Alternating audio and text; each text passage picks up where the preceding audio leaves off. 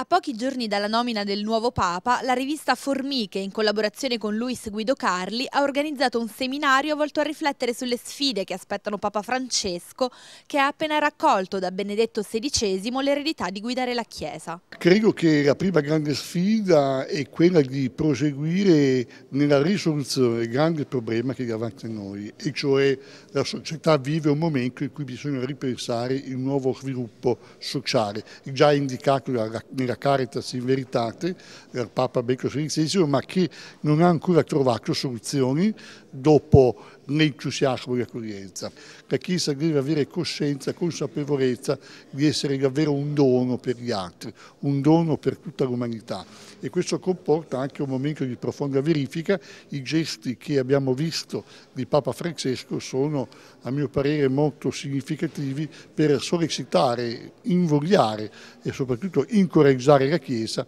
a sentirsi, a sentirsi parte viva del tessuto concreto ed esistenziale delle nostre comunità cristiane. La vera sfida è l'annuncio del Vangelo oggi, quindi eh, la capacità di eh, portare il messaggio di Cristo nelle strade dell'uomo di oggi, quindi in questo senso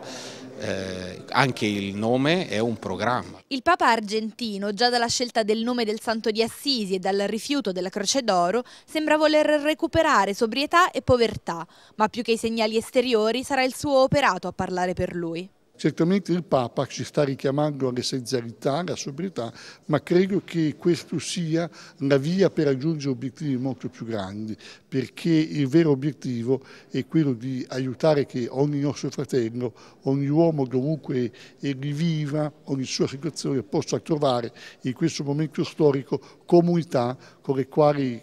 condividere, soprattutto essere accolti e soprattutto direi essere aiutati a vivere questo tempo con speranza e con fiducia perché la presenza della Chiesa, dove c'è la Chiesa, deve essere speranza per tutti. Con Papa Francesco c'è sicuramente una svolta rispetto al ridurre il peso di tutte le cose superflue, eh, però non credo che vada interpretato in una chiave pauperista, eh, credo che l'accento del suo papato sarà eh, incentrato sui valori della misericordia e della preghiera, come giusto che sia per il capo di una comunità spirituale qual è la Chiesa Cattolica.